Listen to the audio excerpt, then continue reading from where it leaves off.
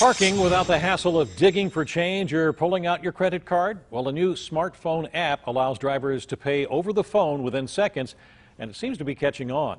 David Highfield explains how it works.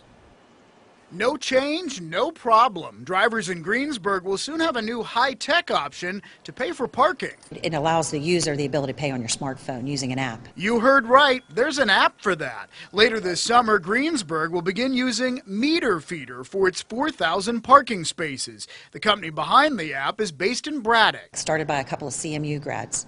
Uh, so it's innovative and it's something that we're looking forward to trying in Greensburg. Here's how it works you download the Meter Feeder app, then put your license plate number and payment info in. When you park, the GPS in your phone actually allows the app to figure out what parking costs where you are. You can even add more time on your phone without having to go back to where you parked. If you somehow still manage to get a ticket, you can pay it through the app by scanning the QR code at the bottom of that ticket.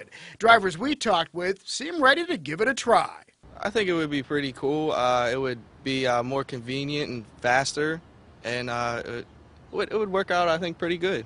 I would think it was a very good thing because people are using less cash, carrying less cash, and there's an app for everything anyway, right?